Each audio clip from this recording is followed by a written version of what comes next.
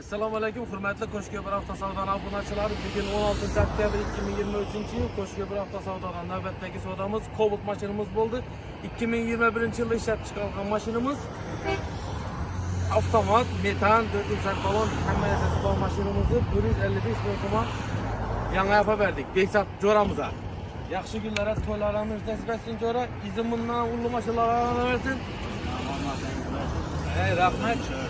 rahmat kelaverasiz yana qo'shni ibroq qozog'da xizmatdamiz kim shunday xizmatlarga kerak bo'lsa telefon qilaverasizlar pasangimdi endi qo'lni bosib benzin beramiz